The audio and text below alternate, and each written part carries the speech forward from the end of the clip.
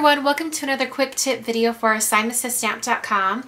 Today I'm going to be showing you kind of a fun idea that you can use on your cards or projects and that is using uh, score lines or your scoring board for decoration instead of just for the fold of the card.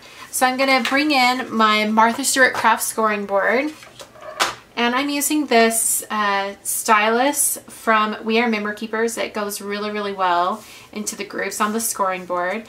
And one of the things I really like to do is do a border. So I'm just bringing in right here and I'll turn it,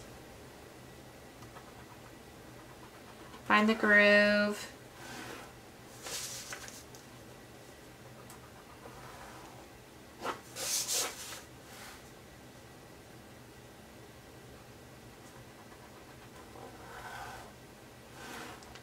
just like that. And then you have a really fun kind of decorative border. You can use either side, the bump or the groove.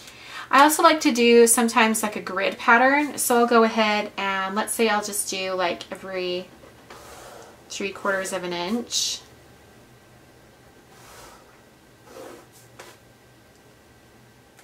All right, so I've got those vertical lines and I'll just turn it.